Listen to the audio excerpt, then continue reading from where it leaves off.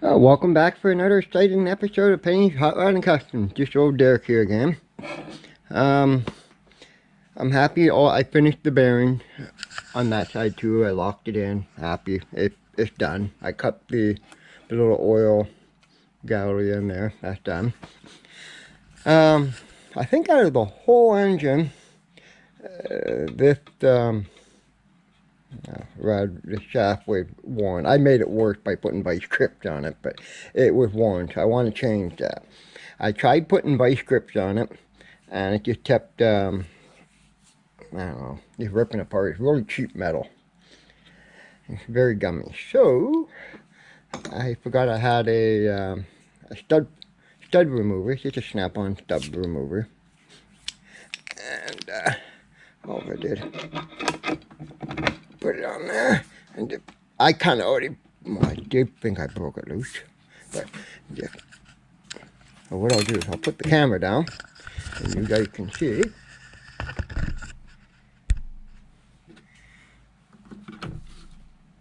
Oh.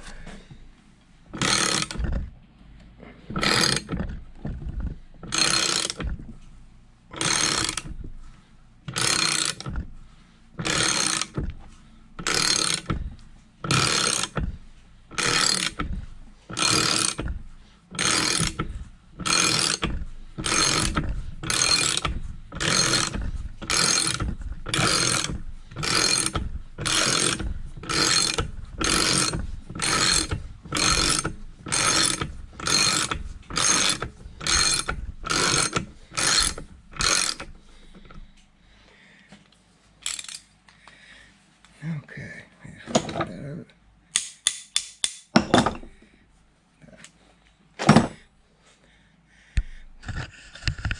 Okay, I thought this was thread, but no, it isn't. It's just a pressed in fit. So I think when I put it back together, I will put a little bit of Loctite in there. And But uh, I found uh, hmm, somewhere a good piece of, uh, oh, right, good piece of rod. Because that's where your timing gear goes on there. It's just a 3 8 rod. So I'll clean that up. We'll cut this into proper length. Put that in. And I I think then we can start bolting the, uh, the cylinder head on and put the connecting rods in. Um, I got piston rings. I'll, I'll yeah, I was able got we were, had piston rings in stock at at my my brother's house. So uh, we'll go through that, putting it on, see if we have to gap the rings. But um, yeah, I'll go find my saw and we'll go cut this rod and put that in. I've already cut myself a nice little um, new shaft that we'll put into for the uh, timing gear. And uh, I just started my hole to make sure it was in the right spot. So I guess we'll drill that out. And then maybe put it into the block then.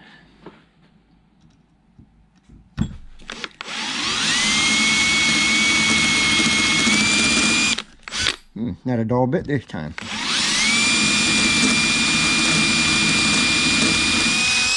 I know it should be oil in. That would be the smart thing.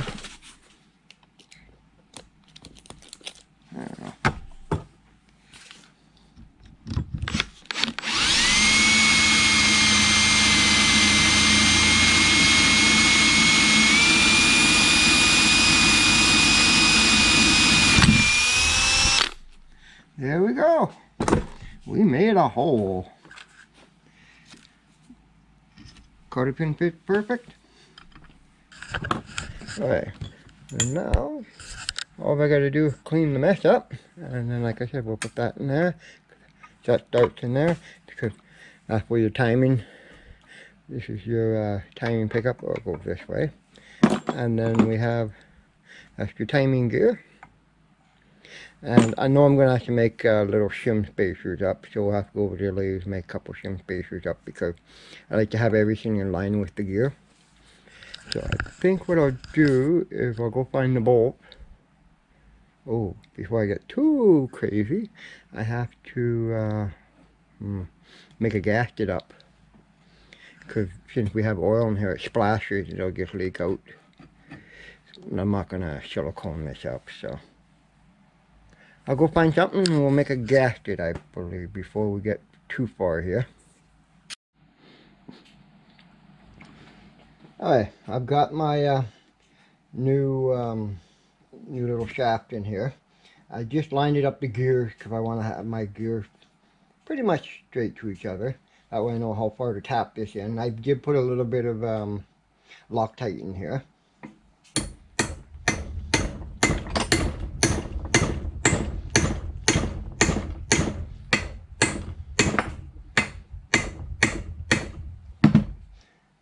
Probably leave it just about like that. That way I can put just a little washer in here. And in the back we're going to have to make a little slush washer back here because there's not much movement.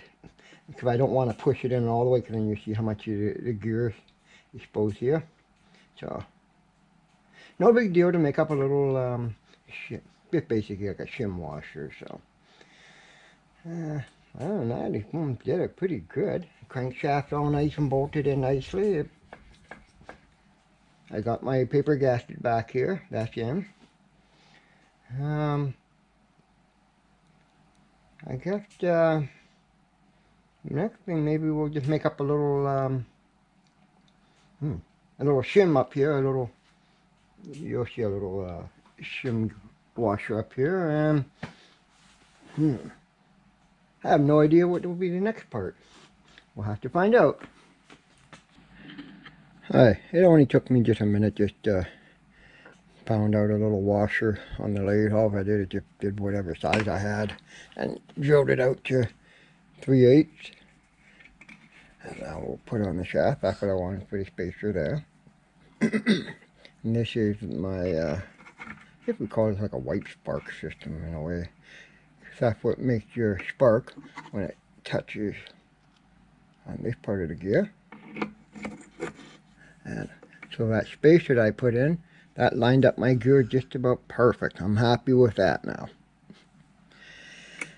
Time I put my little uh, cotter pin in there, yeah, I'm happy. That's done. I think now maybe we'll try to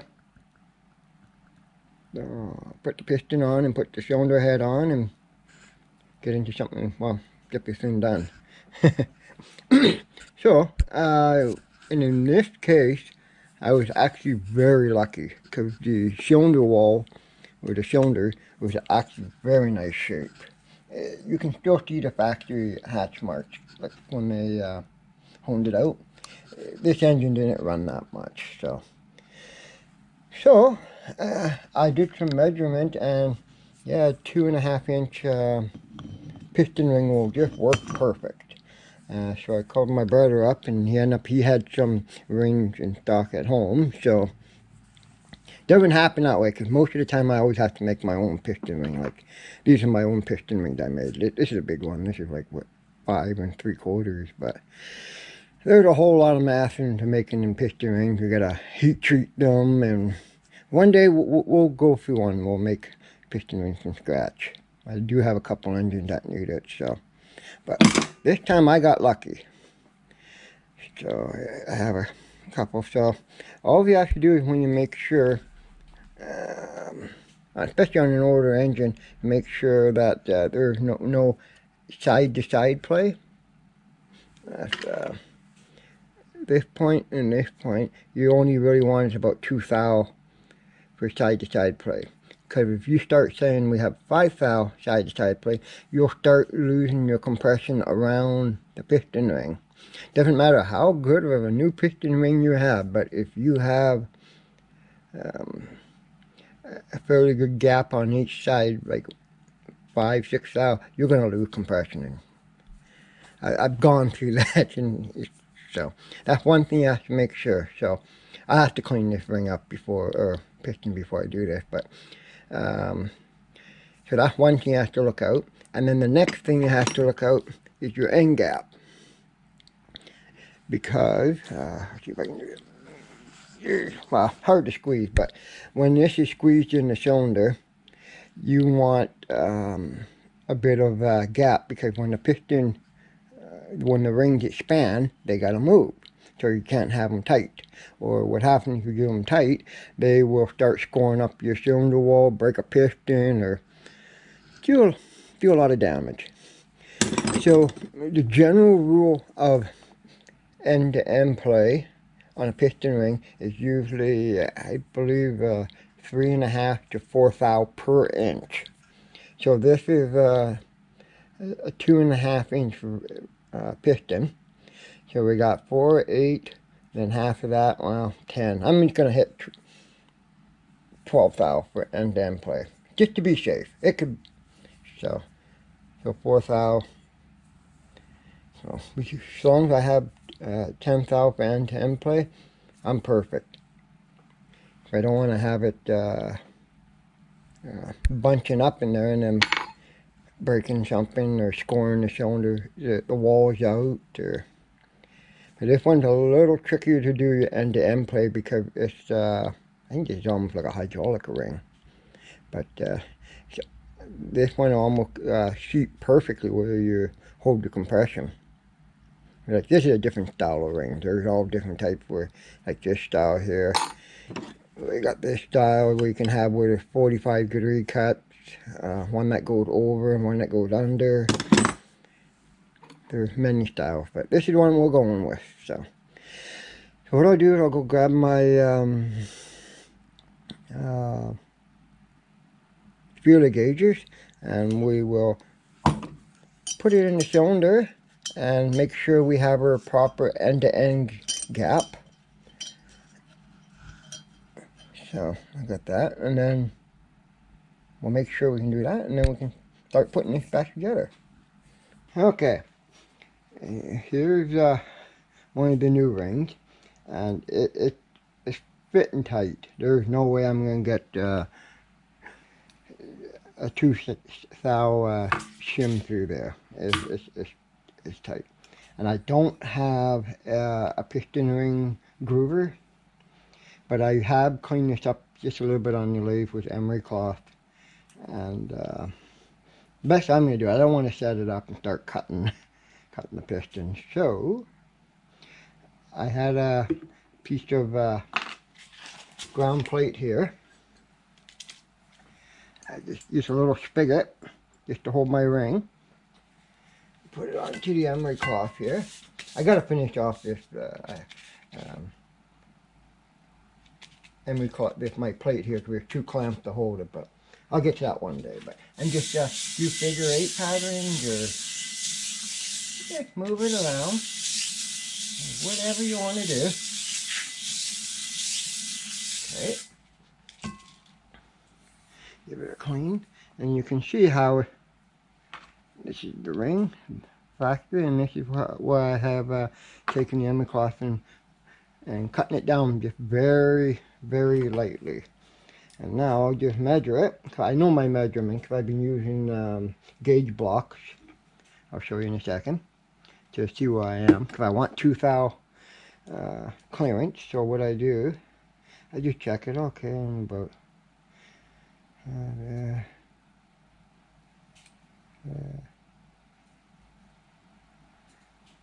I'm pretty consistent around the ring like I said, I'm only I'm playing with less than a half a thou here for for tones. That's no problem. So now I'll spin it around the piston. Hmm.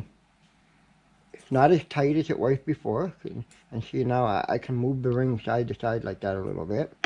But with the new ring, I can barely move it. It's tight and and, and it's grabbing. You don't you don't want the ring to grab in there. So I've got room there, I can spin it around. I know my measurement here. Getting pretty close. We're just about two thou under. It end up these uh, rings were exactly on uh, one and an eighth, and the piston groove were one and an eighth. So, but I need two thou clearance. So all I do is just put. Okay, now I can pull my uh, my uh, feeler stock through. It's uh, still a little tad tight, but just show you guys how you how you can do it.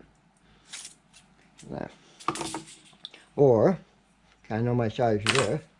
I can go here. This is um, exactly one eighth. And it, it, it not gonna fall out. It, it, you gotta kind of push it in.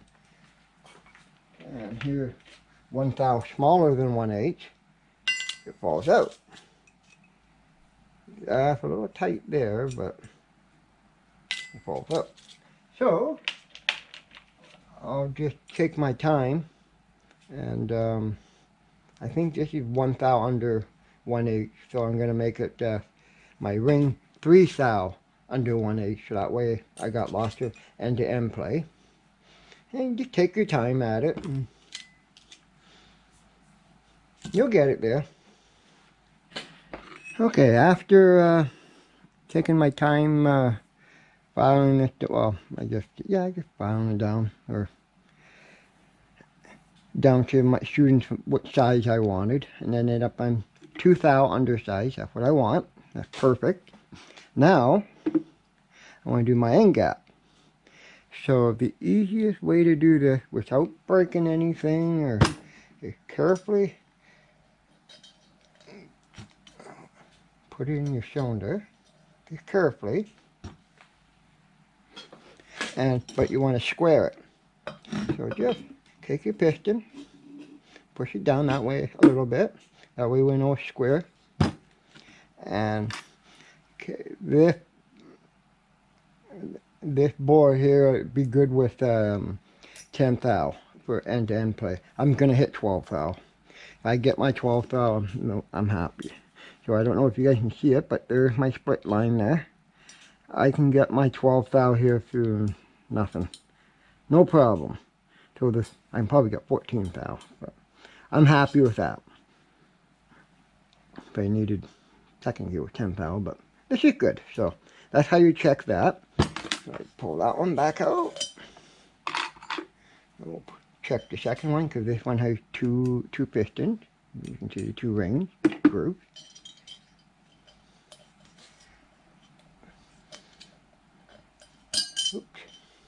You know, these are a little trickier to put in, so. There's a little spicy one. There we go. And I know the the cylinder's straight from top to bottom. I've already mic'd it. it this this jug's actually in very nice shape. Okay. Uh, here we go. I don't know if the lighting's good, but if I just put my feeler gauge through there, and I can do that no problem. There's no hang no scraping or anything, so I'm good. And that's 12 thou. I know 10 thou my size, so. That part's done, so we're done the rings. The rings are finished. Uh, all I'm to do is um, uh, dip your gun, quickly blow all this stuff out, and oil it up, and um, don't know what I did with it. Connecting rod somewhere. Oh, here's the connection rod. I've already um, tightened this onto my uh, crankshaft in here and it's perfect size. I'm not worrying about with the babbitt or anything. It's actually not in bad shape really, so. But you can sure see how they did things back then. Look at how big that hole is. It's just you don't get two bolts put in there, but that's the way they did it back then. So that's how it works. And this is your little pickup here. And this is what uh, oils the, in the, the um, connection rod part here for this part. That's what oil. And then this dipper here, this splashes everything inside here, up into the piston, up into the, yeah, here's the piston, that's where it lubricates through there. And then your oil puts inside the uh, block and everywhere it's supposed to be oil with that. That's where it splashes. That's the oiling pump on this thing. So as you can see back back in the days they're not too critical of uh, doing things at tight tolerance. Everything's fairly fairly loose. So but I've already checked that. Same as uh, whatever I did with the wrist pin. The wrist pin's in very nice shape too. So oh, there it is. Right there. It, just a little mark, but it's fine.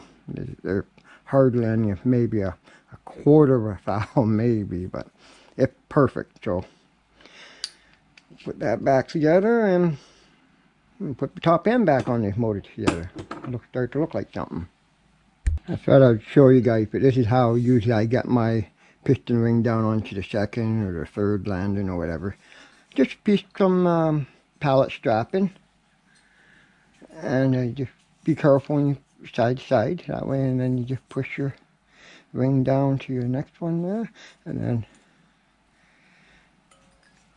yeah, be careful you don't want to break it.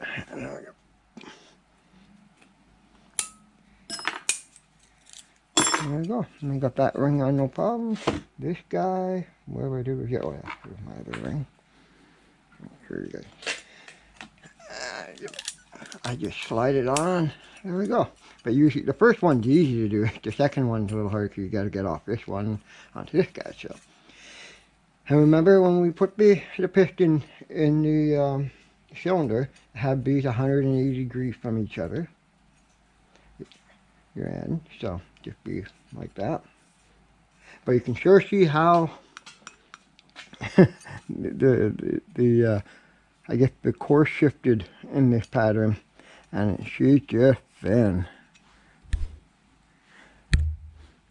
I guess back then they didn't waste anything. Hey, you guys can see that. Because these holes here are all for uh, oiling purpose, except for that one, that one. Can. So, ah, it survived before, it's going to survive again like I said, this, this, this engine didn't run much. So, and uh, you can see my uh, gear is perfectly on the shaft. There's hardly any play. If I can go, uh, you guys can pick this up. Oh, I forgot to put my air compressor on. Okay, here's how uh, good the uh, gear rides on the shaft.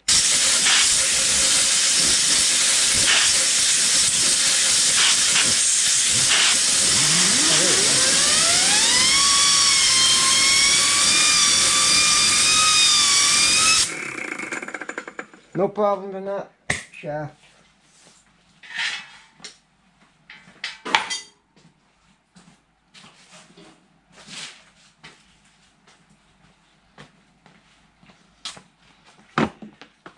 Hey, I'll go find some oil and I guess we'll oil this uh, cylinder down. Okay, I have blown this out, wiped it down. I'm happy. It's, it's clean. Clean's gonna be. I did the same thing too. I locked the pin in, so it's not going anywhere. Happy with that. Alright, we're gonna um, oil the cylinder down, oil the piston down.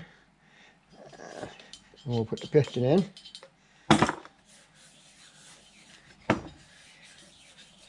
You don't want to worry about putting some oil in because you don't want a dry, uh, a dry start or anything. You'll do damage that way.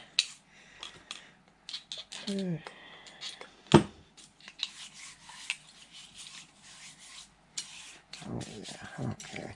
Got the ring laddered up. Okay. Remember, we want it uh, 180 degrees from each other.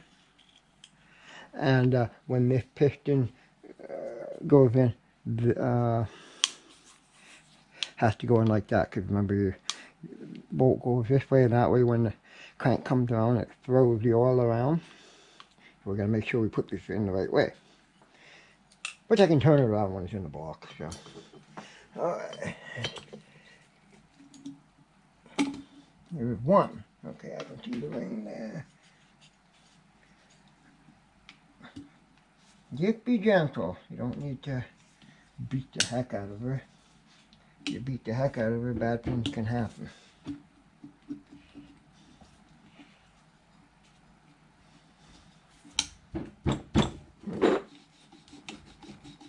it goes in a little than that. Okay. There we go. Oh, Joe, a good bit. Okay. I'm going to wash my hands, wipe them down. Now, I know the block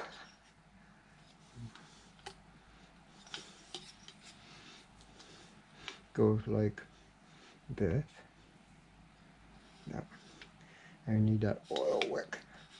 That way. Okay, now I got everything just right. Because this is where your uh, lifter goes.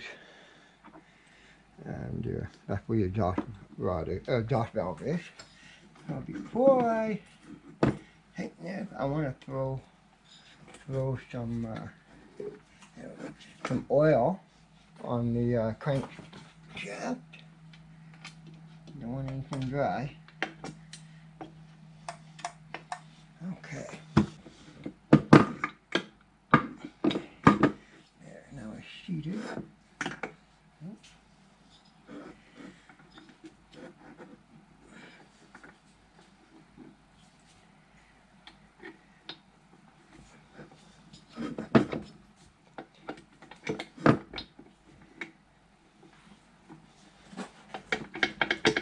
There.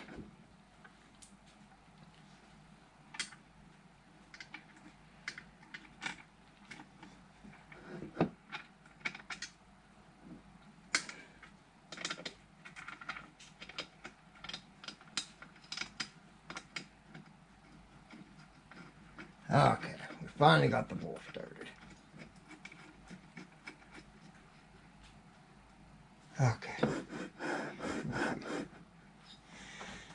Now, uh, I'll get rid of that.